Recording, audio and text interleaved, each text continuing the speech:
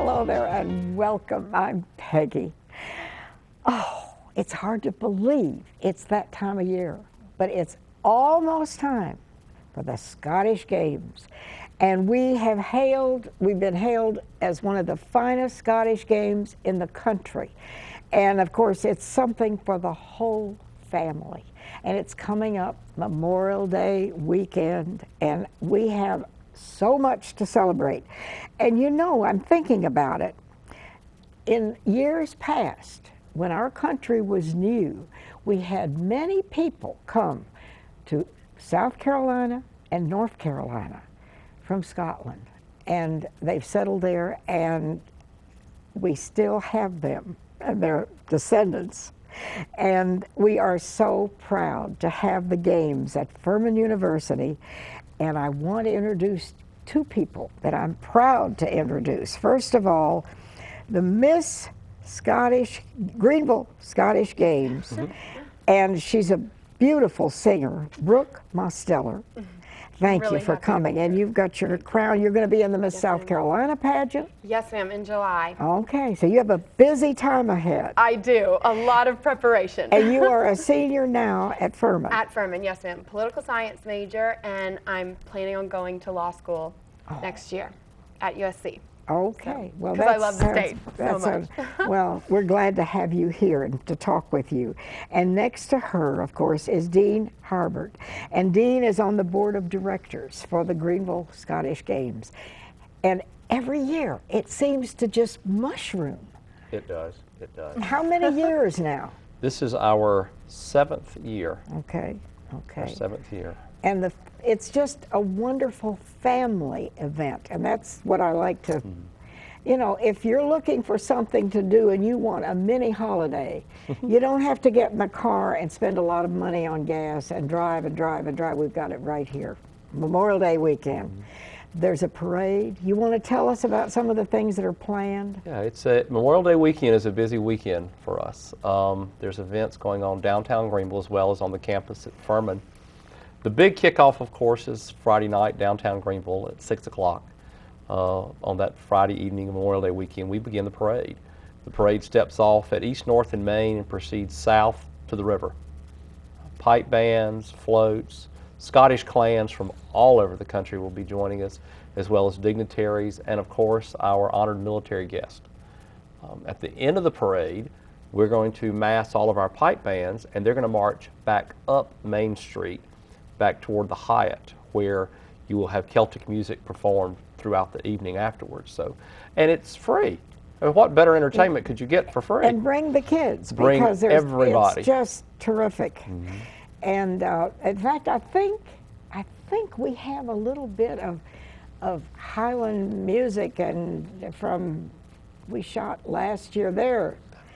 The, the heavy athletics heavy athletics. And I know that you'll later Athletes be talking to uh, to John Allen, who's our director of heavy athletics, and we've got some surprises for this year.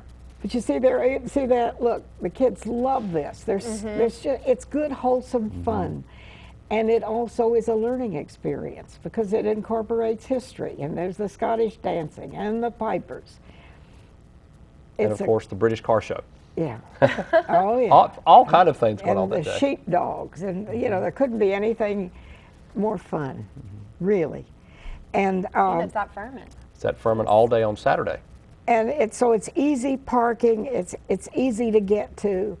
Very easy. And very uh, easy. Furman University, they're very gracious and want us there. They, they are. They are. Because yeah, well, you are. You're too. a part of us too. You've been a part of us since the beginning as well. Um, they are. They're very gracious. They open the doors, and the interesting part is these visiting Scottish dignitaries that are here they say they feel like they are in Scotland because when you're on the campus oh, wow. at Furman with the green and you see the, the foothills and you can see the Blue Ridge Mountains, they feel like they're at home.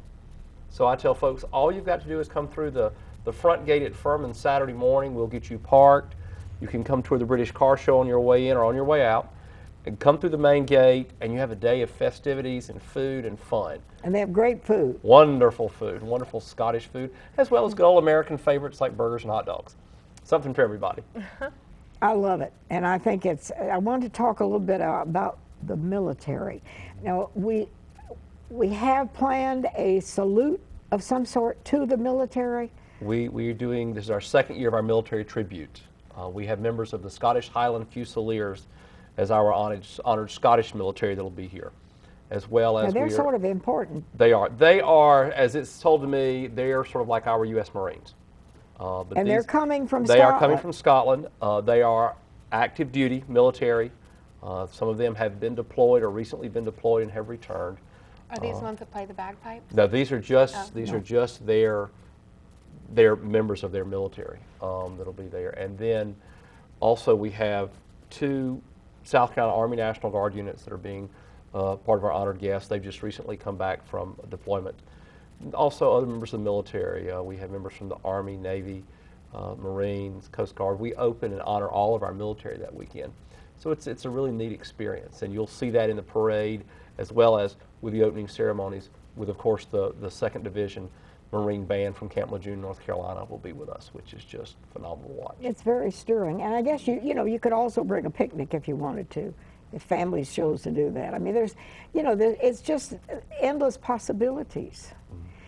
And the, to watch the dancing, You watch, you have the Highland dancing, the, it's a competition, as well as they have some demonstrators. And if you want to learn how to Highland dance, they have an area where you can actually go, and they'll be glad to show you how. and I guess they have the Scottish harps, and they have, you know, there's just something, eh, whatever you have. And if you're interested in history, Definitely. and there, the last in past years they've had like a little Scottish village or something for children. We have Wee Scotland. We And- Scotland, Wee Scotland. and, they- and it's neat because they have the little athletic competitions for the little ones, as well as the climbing wall and the misting tents and all kind of things. Brooke will spend some time there during the day, as well as our teen Miss Greenville Scottish Games. Uh, they'll be signing autographs and having pictures made. So it's a great place for the kids. And the nice part about it, you know that your kids are in a good, safe, secure environment. It's a safe environment, yeah, yeah. Now, I, I'm just throwing this out because I didn't know. But last year, there was something where certain active military people eh, were admitted free or what? Are you going to have something like that for the military this year? We will acknowledge all of our military. So if you are in the military, please bring your military ID. And you don't pay at the gate. um, That, you that just in. individual is, that's correct. And it's a one day, it's a one day, all day Saturday. We open the gates around 8 a.m. Uh, opening ceremonies are at 10:30. Um, the, the pageantry and the precision of opening ceremonies, I tell folks, regardless of how early you get there, make sure at 10:30 you are around that main field to watch that unfold, because you have pipe bands entering, you have the Marine band entering, you have all the Scottish clans are acknowledged, all of our military and our, our, our dignitaries, our guests. Um, and of course, this year our honored clan is Clan Hamilton, uh, because their clan chief, who is in his early to mid 30s, one of the youngest clan chiefs in the system, the du- is the Duke of Hamilton. he is he is he is the Scottish peer. He is the highest ranking member of the Scottish clan system, and we jokingly laugh. He's the only person allowed to walk in front of the Queen of England. He precedes her at the opening of Scottish Parliament and actually carries her crown. Uh, but he will be our honored guest, and, and by what the correspondence, he's as excited as to be coming as we are to have him as our guest. So it's going to be a really fun, fun weekend. this this sort of grew like Topsy. I mean, it started about seven years ago, and it was just a small event. We and jokingly say when we get together, this was started by a band of misfits who all had Scottish heritage who wanted to have a, a little Highland festival, is how they put it. Uh, and in seven years, with an all, no one gets paid. We're all volunteer organization. Everybody yeah. volunteer. Our board, the folks that work the games that day. Brooke, you know, she's a volunteer. But throughout the day, we're all a volunteer. No one's paid, and we have become one of the premier games in the country. Um, and we realized that when some of the representatives that we have had ongoing relationships with in Scotland said, you know, it's kind of interesting when you go to the to the gathering of clan chiefs in Scotland, and they're saying if you ever are invited to Greenville, go. so it's put Greenville Oh yes, in a we are. very high mm-hmm. standing Yes, mm-hmm. for something so insignificant to begin. exactly. We're going to Well- film Braveheart 2 here. that Greenville. that wouldn't it be a great? I know we've got the perfect place for it. But the interesting part, you know, we we like to, and I love to tell people, we are the only games outside the United Kingdom who's had a member of the royal family, and that was when Prince Edward was here with us two years ago, and this year with getting the the top member of, of Scottish royalty, so to speak, with us this year. It's a, it's a very, very high honor for us.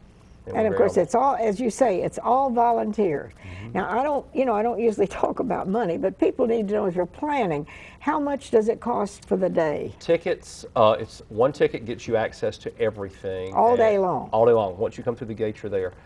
And I think I'm correct. Adults are 15, I believe. Okay. Um, I think children under 12 or maybe 10 bucks. I'll find out and get you the correct information. Okay. You can put it out to your, yeah, to your yeah, but uh, so. Oh, it's a whole day's entertainment. yeah. It's like a, a mini holiday. Exactly. It really is. And it really uh, is. so if two people went to a movie, you'd spend as much as you'd spend all day at, at And there's Furman. plenty to do. Like we said, there's good food. There's plenty of entertainment. Um, you know, watch the activities on the field, the piping competition. Go inside and watch the Highland dancing competition. There's plenty to do, um, and you can make the day of it. And then that night, after we close the gates around five o'clock that evening, we kind of get everything cleaned up. We will reopen the gates that evening around seven, six thirty to seven, and for our Celtic Jam, which is our featured Celtic bands that have been there. Cleghorn, um, Coyote Run, and Albannach is back with us this year. Um, they will actually be performing that night at a concert, and those tickets are like five bucks. and that's at Furman Yes, uh, now as well. So everything is out there. Everything on Saturdays at Furman. We had some footage from past years, and I think the director has it back there. Mm-hmm. And if mm-hmm. if he does, it would be fun so that people who haven't been can get an idea of what you're talking about. This is the So- par- this is the parade you see, um, and this is from two years ago when the Prince was here. Members of Scottish royalty, uh, some of the different floats that are in the parade. Uh, so, and you see, look at all the people. This is Albannach. They uh, have a following from literally across the world that come in. All the different clans are shown.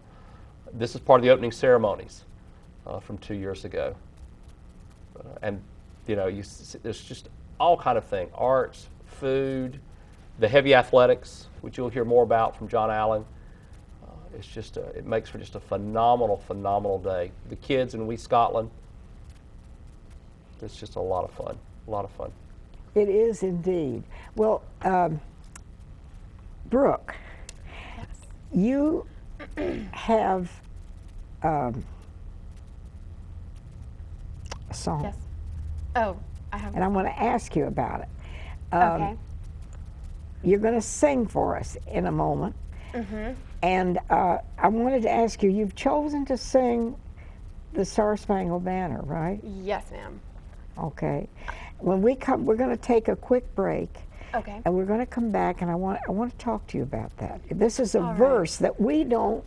I didn't really know the words to this I verse. know, not many people have, have heard it, but. okay, we'll be back in a minute. Welcome back, and we've been visiting here and talking about the events of the Greenville Scottish Games, which will be coming up Memorial Day weekend. And it's a very festive, fun thing for the whole family. And Dean Harbert is here, and of course, he's on their board of directors. And we have Brooke Mosteller, and Brooke is Miss Greenville Scottish Games, but she's also going to be in our Miss South Carolina pageant. And you are a singer, a senior at Furman, but Yes, you I don't really quote yourself as a musician. You're going to law school. The, the music is kind of like something you enjoy, right? I love it, yes, ma'am. But it's, it's had to be on the side. I'm I'm on the cross country and track team at Furman, so that's kind of had to take precedence. Um, Got to use my body while it's young. take my Oh, take poor thing. We feel so sorry for right. yeah. Now tell me, what is Miss South Carolina, you have everybody has a platform. Yes, ma'am. What are you- what are you doing? um, people really choose what they're interested in or passionate about or knowledgeable about. And um, I, being a political science major, I'm just interested in the Constitution and just America in general. Um, and one of our biggest principles is equality. And I think one of the biggest sources of inequality is income. Um, and one of the best ways to control your income is education. So it's my platform is um, South Carolina can go higher, and it's unlocking the front door to higher education through College Application Day. So College Application Day is the initiative, and that is my main platform. That's the it of it, and um, the goal is to just help kids apply for college. And so it's That's kind of scary too. It's, it is scary, and um, it's it's scary when I was a senior in high school. I was salutatorian in my class. My parents were involved. I had I had all the resources to help me apply to college, but it was it was really a, a challenge still. Um, and I thought if it was hard for me, it's probably hard for a lot of other kids who don't have as much to work with. Um, so So that's your outreach, is to help kids get ready. Yes, ma'am. And it's College Application Day is an initiative that starts in the high schools, and kids apply for college during their high school hours um, in in a computer clustered kind of environment. So in the library, maybe where they have all these computers around. Um, so the seniors will go into these into the library where the computers are, and they'll apply for college with the help of guidance counselors and teachers and um, just other volunteers. We started it at, at Furman, where um, some of us will went out into the community. Now that's interesting. So that's what you do. That that's your outreach. Yes, ma'am. Mhm. Do you go to different high schools then and talk to the kids or what? Yes, ma'am. Um, that's what we did at at Furman. Um, we You put the crown on, you know they're going to be impressed. right. I haven't tried that yet. it takes place usually in the fall, but it's gone from 10 high schools. It's only been three years long. 10 high schools to 120 high schools across the across the state. So it's it really is a statewide thing. And um, just in this past fall, 20,000 seniors applied for college through through the program, and it's to really target minority students and first generation students. And um, That's fabulous. it, it is. Uh, we- We've had mothers come up crying, just saying, I didn't, I didn't know my son could go to college. So, and the other goal is to kind of use peer pressure in a positive way. You know, like if, oh, well, if Joe's going to go apply for college today, I guess I'll do it too. Um, and just to really get them started and getting get them, them, confidence. Mhm, and to have to give them the expectation and the standard that yes, you can go to college, and there is something past high school. Um, so it's I'm I'm really excited about it, and it's something that's been so successful in the state. It could go. It could just be in across the nation too. Um, and it's really high school specific. The high school is in charge of creating it and making what they making it what they need it to be. Well, now, is this, you've gone into various high schools around, Yes, ma'am. and do you talk directly to the kids, or how does it work? Does, does the high school have to invite you in? We, Or? we have to we have to um, be in contact with them because they set up what day is best for them and what um, what's the best way to do it. Do they want to do it all day? Do they want to do it in segments of like two hours? And so we would us me and some of the other my other Furman volunteers, I guess, we would go to the schools and um, just answer questions about college or tell them about college while they're actually doing the application, while they're working on it. Has this, have you had any feedback? You mentioned one parent, but have, from parents Yes. that this has been helpful? This is all done online, a Right. lot of it, right? Mhm. Yes, Today? and that's why they have to be the computer computer kind of clustered environment for them to be able to do it. Um, but actually, it, I worked with the Commission on Higher Education, for the South Carolina Commission on Higher Education, and Indi- Indianapolis. They're going to Indianapolis in a few weeks because they their Commission on Higher Education has found out about the program and um, want to possibly implement it in in, in Indiana. So you, so- will you be going, or just some of the other people? It's it's on it's during my class days and I just have a few class days left. I I would love to go, but it's still up in the air. I'll let you know. Now, what do you call this program? College application day. Just um, so the high school picks a day where they want to have college application day, and we try to get all the teachers to wear their college, you know, out, out their alma mater outfits or T-shirts or anything, just to just to tell the kids about about their college experience too.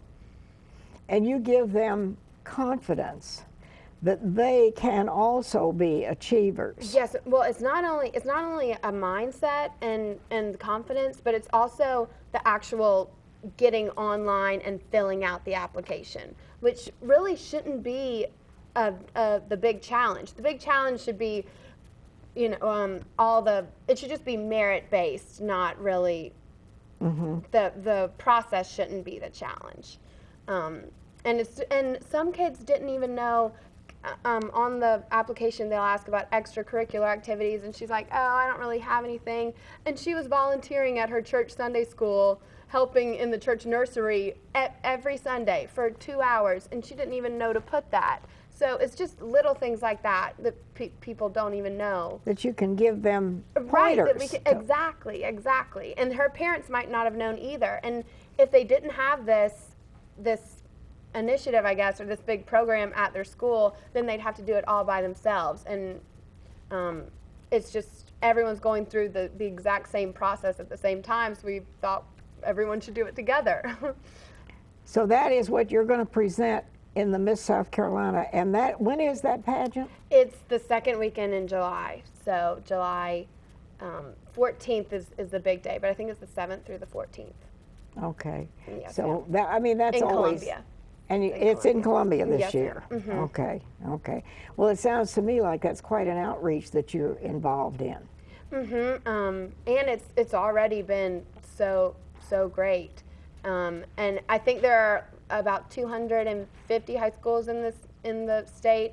So um, we've still got some reaching to do, but. So you're not going to give up on that. Oh no, ma'am. no, ma'am. Not at all. It's been it's been so successful, and 50% of those of the 20,000 kids who who applied were um, minority students, and 25% were first generation um, high school students. And I think that I just am curious. Mm-hmm. Before we get out of it, how did you get in? How did you choose that as something that was so important to you? Oh well, really, when when I was going through my college application process, I just thought it was it was uh, challenging when it didn't have to be. And my mom was is on the was on the Commission on Higher Education, so she and I were were just working through it, and we came up with this idea that ev- it should really be something that everyone does together because everyone Okay. is going through the so same you can process. support each other. Right. Yeah. mhm. Yeah. Okay. And it takes okay. a lot off the guidance counselors Okay. too. They love it. Well, we have, um, we, we just, I don't know how long, but we have a little roll in. And will that give us time also to have our, our song from the Miss South Carolina? We want Miss South Carolina to sing. Or the future Right, Miss I- South Future Miss Carolina. South Carolina. Future Miss South Carolina, Miss Scottish, Greenville Scottish Games. Yeah. Okay. Well, if we're ready with that, I don't know how much time we have left, but okay. Remember, put it on your calendar. The Memorial Day weekend.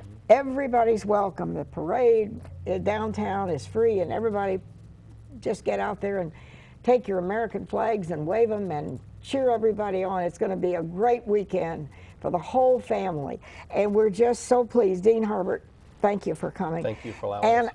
And here she is, and she's going to sing for us a verse of our own national anthem.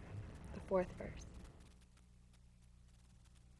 And thus be it ere when free men shall stand between their loved home